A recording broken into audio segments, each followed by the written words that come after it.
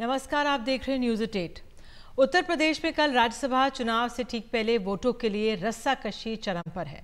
राज्यसभा चुनाव से ठीक पहले समाजवादी पार्टी के साथ बड़ा खेल होने की खबर मिल रही है। सूत्रों के अनुसार राज्यसभा चुनाव में समाजवादी पार्टी के 10 विधायक बीजेपी को वोट कर सकते हैं। इससे पहले समाजवादी पार्टी नेताओं ने की आज बैठक हुई, लेकिन छह से सात विधायक नहीं पहुँचे। सूत्रों के मुताबिक ये विधायक क्रॉस वोटिंग कर सकते हैं। ज़्यादा जानकारी के लिए सीधे चलते हैं अपने सहयोगी रणवीर सिंह के पास, लेकिन पहले उदयवीर सिंह जो समाजवादी पार्टी के नेता उनको सुन लेते हैं। समाजवादी पार्टी के वरिष्ठ नेता, पूर्व एमएलसी उदयवीर सिंह साहब हमारे साथ हैं। उदयवीर जी, बैठक हुई विधायकों की, और खबर आ रही है कि आपके काफ़ी सारे विधायक टूट रहे हैं टूटने जुड़ने की खबरें तो मीडिया में आती रहेंगी। सवाल ये है कि खुला वोट है, ओपन वोट होना है। सब लोग विधायकों ने संपर्क किया है, बात की है। और सारे लोग पार्टी के साथ रहने का विश्वास भी व्यक्त किए हैं। कई लोग जो हमारे पार्टी से जीत के आए, पार्टी के समर्थन से जीत के आए, उनकी भी भावनाएँ हैं। ओपन वोट होना है तो जो होगा, सामने होगा। लेकिन दो दो विधायकों से तो मेरी व्यक्तिगत बात हुई है। वो अग्री कर रहे हैं कि हाँ हम जा रहे हैं भाजपा, भारतीय जनता पार्टी को वोट देने। वो आपकी बात है, आपकी और उनकी क्या बात है, वो मैं उसमें कैसे बता सकता हूँ? हम तो वही बात बता सकते हैं जो पार्टी की बात होगी। और हमारे सहयोगी रणवीर सिंह हमारे साथ मौजूद हैं। तो रणवीर, वाकई में काफ़ी चिंताजनक स्थिति एक तरह से कहें समाजवादी पार्टी के लिए, क्योंकि आप बता रहे थे, दो विधायक तो आप ही को कह रहे हैं कि बीजेपी के साथ जा रहे हैं। देखिए विधायकों ने कंफर्म किया है कि वो भारतीय जनता पार्टी के पक्ष में वोट देंगे। मैं इस वक्त समाजवादी पार्टी दफ्तर में हूँ। ये तस्वीरें देखिए, गहमा गहमी है। विधायकों की मौजूदगी थी। एक एक करके विधायक निकल रहे हैं, लेकिन छः से सात ऐसे विधायक हैं जो यहाँ बैठक में शामिल नहीं हुए। और इसके अलावा जो एक लिस्ट हमने बनाई है, चूँकि सूत्रों का कहना है कि अभी नाम ना चलाइए, वो लिस्ट भी हमारे पास है और समाजवादी पार्टी के ही कुछ नेताओं को हमने जब वो लिस्ट दिखाई तो ऑफ़ कैमरा वो अग्री कर रहे हैं कि ये विधायक ना बैठक में आए और ना उनसे संपर्क कर रहे हैं। तो ज़ाहिर है कि ये सभी वोट टूटने वाले और इसी वजह से अभी थोड़ी देर पहले जब भारतीय जनता पार्टी के विधायक लोग भवन में बैठे हुए थे, बीजेपी और उनके सहयोगी दलों के, उनको बड़े नेताओं ने साफ़ तौर पे कहा कि हम आठवीं सीट जीतने जा रहे हैं। लेकिन आपको सिर्फ़ ये इंश्योर करना है कि आपका वोट इनवैलिड ना हो, जो तय नियम है, जिसको भी वोट देना, उसके सामने वन लिखना है, उस तरीके से लिखिए। कोई गड़बड़ी नहीं होनी चाहिए, ये इंस्ट्रक्शन है और बीजेपी को एक सप्लीमेंट के तौर पे आरएलडी भी मिल गई और राजा भैया की पार्टी के दो विधायक भी मिल गए हैं। इसमें नज़र एक विधायक पर है, वो हैं उमा शंकर सिंह। अकेले विधायक हैं बहुजन समाज पार्टी के, वो अभी तक अपना पत्ता नहीं खोल रहे हैं कि वो वोट देने आएँगे या नहीं आएँगे और आएँगे तो किसके पक्ष में वोट देंगे। लेकिन अगर आठ से दस विधायक, इसमें दो तीन से हमारी खुद बात हुई है, वो विधायक अगर टूटते हैं तो बीजेपी को फिर उमाशंकर सिंह के वोट की भी ज़रूरत नहीं होगी और यही विधायक जब क्रॉस वोट करेंगे तो बीजेपी का आठवां प्रत्याशी जीतेंगे। और वो हैं संजय सेठ। संजय सेठ ने नामांकन जब बीजेपी के साथ प्रत्याशियों ने कर दिया था उसके अगले दिन अपना नामांकन किया और तब से संजय सेठ से हमने कई बार संपर्क करने की कोशिश की ऑन कैमरा ऑफ़ कैमरा हर तरह से। वो यही कह रहे हैं कि वो चुनाव जीत रहे हैं और आज भूपेन्द्र चौधरी से लेकर तमाम मंत्री और विधायक वो भी ये दावा कर रहे हैं कि बीजेपी आठवीं सीट जीत जाएगी क्योंकि हमने सारा कैलकुलेशन किया था और उस कैलकुलेशन के बाद ही आठवां प्रत्याशी उतारा है। और ये बड़ा झटका समाजवादी पार्टी के लिए इसलिए होगा क्योंकि सपा के पास कुल जो विधायक है, उनमें अगर ये आठ से दस टूटते हैं तो दल बदल कानून तो लगेगा नहीं। लेकिन अनुशासनात्मक कार्रवाई अगर समाजवादी पार्टी करती है तो ज़ाहिर है कि ये जो विधायक हैं ये पार्टी भी छोड़ सकते हैं इस्तीफ़ा भी दे सकते हैं और अगर ये नौबत आती है तो ज़ाहिर है कि जब उपचुनाव होगा तो फिर आ, उसमें ये विधायक वहाँ से मज़बूत भी हैं। तो सपा अपने नंबर्स भी कम करना नहीं चाहेगी लेकिन जो अनुशासनात्मक कार्रवाई है अगर क्रॉस वोटिंग होती है ये विधायक जाते हैं तो उन पर किस तरह से एक्शन लेगी ये देखने वाली बात होगी। कल सुबह नौ बजे से वोटिंग होगी शाम चार बजे तक और उस वोटिंग के बाद आ, शाम को ही फैसला आ जाएगा। तो कल बीजेपी के लिए एक बड़ी जीत हो सकती है, क्योंकि सूत्र कह रहे हैं कि सपा के कई विधायक टूटने को तैयार बैठे हैं। जी। बिल्कुल, तब तक कल शाम चार बजे तक ये खींचतान जारी रहेगी। बहुत बहुत धन्यवाद आपका। तो देखते हैं क्या राज्यसभा के लिए किस तरह से स्थिति उत्पन्न होती है तमाम राजनीतिक दलों के लिए। और अब पश्चिम बंगाल के संदेश खाली मामले में आज कलकत्ता हाईकोर्ट ने बंगाल सरकार को फटकार लगाई। कोलकाता हाईकोर्ट ने कहा है कि टीएमसी नेता शाहजहां शेख की गिरफ्तारी पर कोई रोक नहीं है, उसे गिरफ़्तार किया जाना चाहिए। कलकत्ता हाईकोर्ट ने टीएमसी नेता अभिषेक बैनर्जी के बयान के बाद फटकार लगाई। अभिषेक बैनर्जी ने कहा था कि बंगाल सरकार इसलिए शाहजहां शेख को गिरफ़्तार नहीं कर पा रही है क्योंकि कोर्ट ने पुलिस के हाथ बाँध रखे हैं। कलकत्ता हाईकोर्ट ने सख्त रुख के बाद टीएमसी ने कहा है कि शाहजहां शेख को सात दिनों की, के अंदर गिरफ़्तार कर लिया जाएगा। शराब घोटाले में एनफोर्समेंट डायरेक्टरेट के सातवें समन को भी दिल्ली के मुख्यमंत्री अरविंद केजरीवाल ने नज़रअंदाज कर दिया है। अरविंद केजरीवाल आज भी ईडी के सामने पेश नहीं हुए। अरविंद केजरीवाल ने आज कहा कि जब ईडी खुद कोर्ट गई है तो उन्हें कोर्ट के आदेश का इंतज़ार करना चाहिए।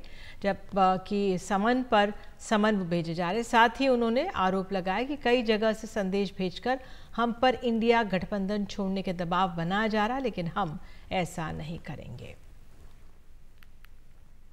वो चाहते हैं कि हम अपना गठबंधन, हम गठबंधन का हिस्सा ना रहे। बार बार जब ईडी खुद ही कोर्ट गई हुई है तो क्या ईडी को, केंद्र सरकार को कोर्ट पे भरोसा नहीं है?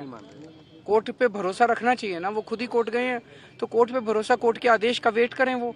कोर्ट जो भी आदेश देगा, उसके हिसाब से कर लेंगे। कोर्ट कहेगा, भाई, जाओ तो जाएँगे।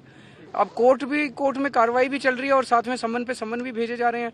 तो उनका मकसद बेसिकली ये है इनफॉर्मली कई जगह से मैसेज आए हैं, भाई, गठबंधन तोड़ दो। गठबंधन नहीं तोड़ेंगे हम। वो चाहते हैं कि हम अब उधर कांग्रेस अध्यक्ष मल्लिकार्जुन खड़गे ने अग्निवीर योजना को लेकर राष्ट्रपति द्रौपदी मुर्मू के हस्तक्षेप की मांग की है। कांग्रेस अध्यक्ष ने अपनी चिट्ठी में लिखा है कि 2019 से 22 के बीच दो लाख लोगों को सूचना दी गई थी कि उन्हें तीनों सेनाओं में स्वीकार किया गया है। अब इन लोगों ने फ़िज़िकल और लिखित परीक्षा पास करने के लिए सभी बाधाओं के बावजूद संघर्ष किया था। ये लोग ज्वाइनिंग लेटर का इंतज़ार कर रहे थे, लेकिन अग्निवीर योजना लागू कर उनके सपनों को चकनाचूर किया गया। साथ ही उन्होंने कहा कि जवानों के बीच मतभेद पैदा करने वाली ये योजना है। और मल्लिकार्जुन खड़गे की चिट्ठी को ट्वीट कर राहुल गांधी ने कहा है कि देशभक्ति और बहादुरी से सराबोर सैन्य अभ्यर्थियों के लिए न्याय की लड़ाई में हम उनके साथ हैं।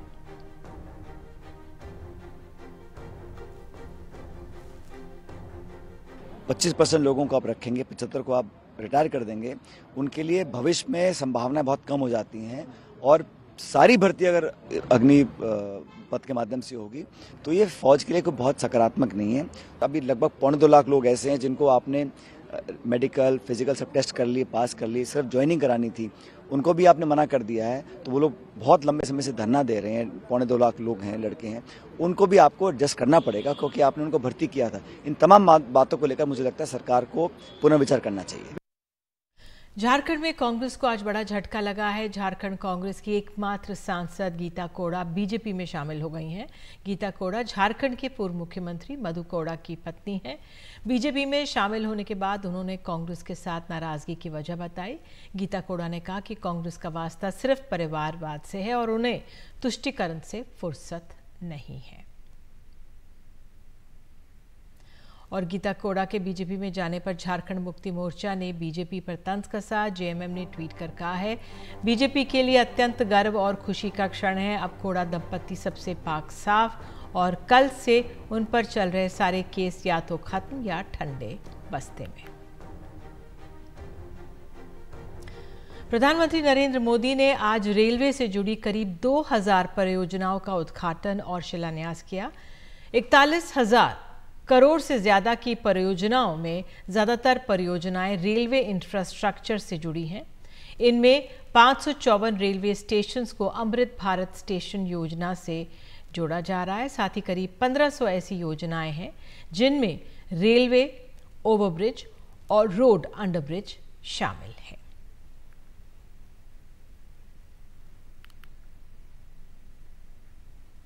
कोस्ट गार्ड में महिला अधिकारियों के परमानेंट को लेकर सुप्रीम कोर्ट ने केंद्र सरकार को एक बार फिर से फटकार लगाई। सुप्रीम कोर्ट ने याचिका पर सुनवाई करते हुए कहा कि आप महिला अधिकारियों को या तो परमानेंट कमीशन दीजिए, वरना हम आदेश जारी करेंगे। अब इस मामले में एक मार्च को सुनवाई होगी।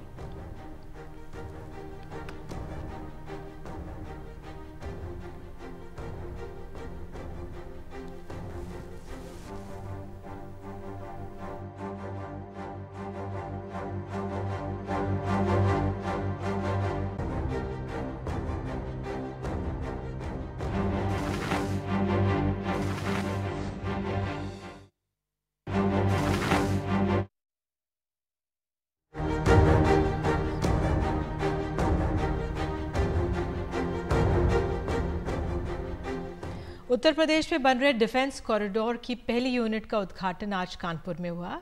इस मौके पर सेना प्रमुख जनरल मनोज पांडे, मुख्यमंत्री योगी आदित्यनाथ रक्षा मंत्री राजनाथ सिंह और अडानी समूह के करण अडानी भी मौजूद थे। ये यूनिट अडानी समूह ने तैयार की है और इसका नाम है अडानी डिफेंस एंड एरोस्पेस। रक्षा उत्पादन के क्षेत्र में नई छलांग। कानपुर में अदानी डिफेंस एंड एरोस्पेस शुरू हो गया है। ये 1500 करोड़ के निवेश से एशिया का सबसे बड़ा गोला बारूद कारखाना होने जा रहा है। ये कारखाना अदानी समूह ने तैयार किया है। इस मौके पर मौजूद यूपी के मुख्यमंत्री योगी आदित्यनाथ ने इसे एक ऐतिहासिक मौका बताया। भारत को सुरक्षा के क्षेत्र में न केवल आत्मनिर्भरता बल्कि इसके माध्यम से हम न केवल अपनी स्वयं की आवश्यकताओं की पूर्ति कर सकें, बल्कि देश की सुरक्षा और आंतरिक सुरक्षा की स्थिति को सुदृढ़ बनाने के साथ साथ इस क्षेत्र में जो दुनिया की आवश्यकता है, उन आवश्यकताओं की पूर्ति करने में भी भारत अपना योगदान दे सके। इसके लिए उत्तर प्रदेश का यह एक महत्वपूर्ण केंद्र जो छह नोड्स में विकसित हो रहा है, यह एक मील का पत्थर साबित होगा। इस यूनिट को रक्षा क्षेत्र में आत्मनिर्भरता के लक्ष्य की ओर एक बड़ा कदम माना जा रहा है। इसलिए इस आयोजन को स्वरक्षा नाम दिया गया है। देश के लिए भी और दुनिया के लिए भी। भारतीय सेना के प्रमुख जनरल मनोज पांडे ने कहा कि सेना के आधुनिकीकरण में इन उद्यमों की बड़ी भूमिका है। As guardians of the nation security we are seized with the need to completely wean away from import for our capability development requirements. Modernization and technology infusion into our war fighting system, therefore, is being given effect in conformity to our commitment to the vision of Atmanirbharta. इस मौके पर रक्षा मंत्री राजनाथ सिंह ने कहा कि देश की रक्षा जरूरतों में कोई कसर नहीं रहने वाली है अपनी जियो पोलिटिकल रियलिटीज को देखते हुए भारत के लिए यह आवश्यक हो जाता है कि अपने रक्षा क्षेत्र को मज़बूत बनाकर रखें। साथ ही भारत जैसा महान एवं प्राचीन सभ्यता वाला देश, भारत जैसा विशाल अर्थव्यवस्था वाला देश, अगर विश्व पटल पर सिग्निफिकेंटली कंट्रीब्यूट करना चाहता है तो उसके लिए ज़रूरी है कि भारत की स्ट्रेटजिक ऑटोनमी मेंटेन रहे। रक्षा क्षेत्र में अहम निवेश कर रहे अदानी समूह ने देश के प्रति अपनी प्रतिबद्धता फिर दोहराई है। India is not just rising India is ascending this ammunition and missile complex stands as a testament to that ascent a giant leap towards securing our borders and empowering our brave soldiers. पर हमारा ये सफ़र उत्तर प्रदेश सरकार की बेमिसाल सहयोग के बिना संभव नहीं हो सकता था। मैं इसके लिए माननीय मुख्यमंत्री श्री योगी जी का धन्यवाद करता हूँ। सर, आपने गुड गवर्नेंस को प्राथमिकता देने के लिए, के साथ ट्रांसपेरेंसी को बढ़ावा देते हुए जिस तरह से प्रोसेस को स्ट्रीमलाइन करने का निश्चय लिया है, आपकी इसी निश्चय ने इस फैक्ट्री को सिर्फ़ पंद्रह महीने में पूरा करने में अहम भूमिका निभाई है। भविष्य को देखते हुए हम मानते हैं कि यह फैसिलिटी एक लंबी कहानी का पहला चैप्टर है। यह सिर्फ़ एक फैक्ट्री नहीं है, बल्कि हमारी सेल्फ सफिशिएंसी और स्ट्रेटेजिक ऑटोनॉमी की ऊंचाइयों तक ले जाने वाला मंच है। Together let us transform this inauguration ceremony into a catalyst for action translating the potential of this complex into a resounding reality. Let us continue to work hard towards a future where India stands tall on a global stage, not just as a self reliant nation, but as an inspiration for others. Would like to close with a few lines which have always inspired us to do more for the country.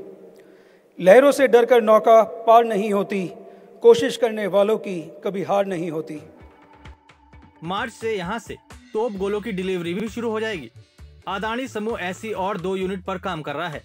Kanpur से तनिष पंजाबी की report.